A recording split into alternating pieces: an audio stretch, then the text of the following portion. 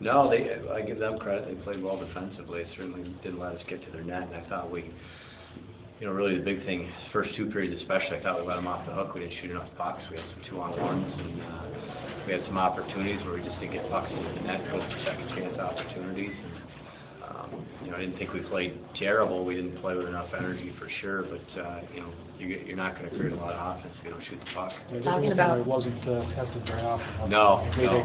they wanted to be there. Yeah, and, and he, you know, he was solid, but like I said, we let him off the hook. You talk about having opportunities in third game. You had uh, that five-minute power play. What what happened on that? Just weren't able to connect again. Yeah, I, I think that, uh, you know, we get, we got a couple looks at it, but we looked out of sync. I thought offensively we were out of sync all night. You know, we holding the puck a little bit too long. We didn't play fast enough. I thought our, our break-ins on our power play struggled and, and, uh, you know, not, good team like that, they play good defense. You gotta get pucks in behind them. And You gotta beat them to some foot races and win some battles, and we just didn't do enough that tonight.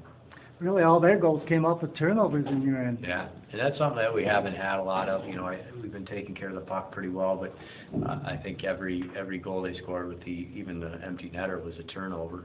And, um, you know, we were in position to get the puck out and, and go to work, uh, offensively, and we just didn't make strong plays with it. So it started with the, the first goal that they had, and it was kind of the theme the rest of the game. With uh, McNabb, when he was in the NHL, it seemed like he was playing a simple game, making simple plays. And at times here, even when you've been winning, and Mhm. especially tonight, it stood out that Yeah. it seems like he's trying to do too much. Um, yeah, I mean, uh, he wasn't as sharp tonight as, as he needs to be for us to, to be successful. You know, I think he's been playing really well. You know, he, he had a bad night. I think he would tell you that, and it, it happens, and he certainly knows that he's effective when his game is, the simpler his game is, the more effective he is, but there was some hesitation tonight, I guess is the best way to put it. And, uh, for him or any of our players, when you stop playing fast and you start hesitating, that slows our team down and we're not as effective.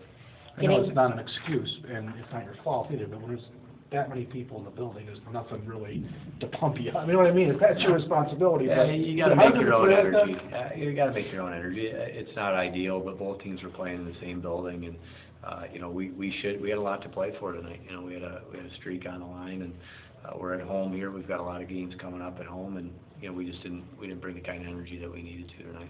Getting back at it on Friday night, a quick turnaround at least. What's the message moving forward from this one? But we don't dwell on it when we win, so we certainly don't wanna dwell on it when, when we lose. We gotta get back to the things that made us successful, uh, in this recent string and, and make sure that we're, we're sticking to our ingredients and sticking to our game plan, and if we do that, we're gonna be successful. Larsson's point streak comes to an end, what's changed for him that he got, uh, other than tonight, he's been on a hot streak? Uh, I think he's been good chemistry with, uh, with his line mates, with Luke and, and, uh, Brayden Irwin there, and, uh, again, same thing, you know, they were keeping the game really simple. If you look at, uh, the Wilkes-Barre game, uh, Luke Adam's goal was, was a transition off the forecheck where Brayden Irwin gets it down, he puts it off the goalie, Luke's there for the rebound.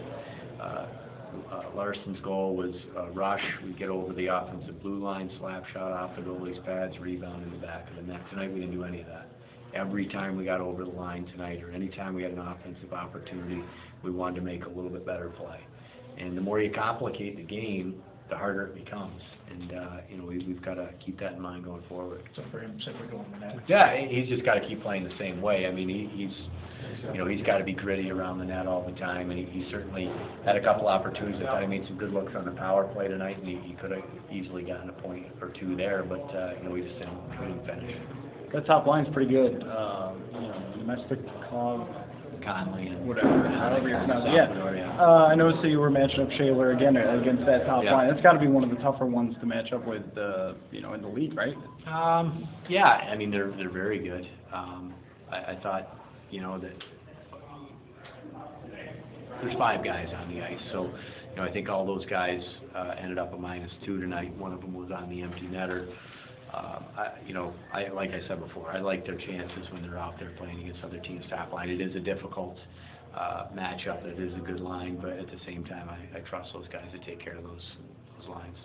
Yeah, it was a case, uh, tonight of, uh, looking to make the, the perfect pass rather than taking a, a shot on, on goal, sure. you know, pass up shots for, we really let their goalie off the hook tonight. You know, we, we had some, especially in the first and second, I thought we had some two-on-ones, three-on-ones where pass, pass, pass back, or, even when we did connect, uh, you know, uh, Larsson made a great play to Brayden Irwin on the two-on-one, and it just kind of rolled off his tape, uh, and, and kind of squirted on net, but we didn't get a good look at it there, you know, we just, you know, we, we gotta keep the game simple and make sure we're shooting more pucks, and I thought we, we tried to do that once we got behind, but then it was a little bit too late, and, you know, they're gonna, they're a good defensive team, they play really well in their own zone, so, uh, made the, made the night really difficult for us. And Evan Rankin is still pretty pesky, isn't he? He sure is, he finds a lot of loose pucks, and he's got a good stick, and made a couple of real nice plays tonight, so,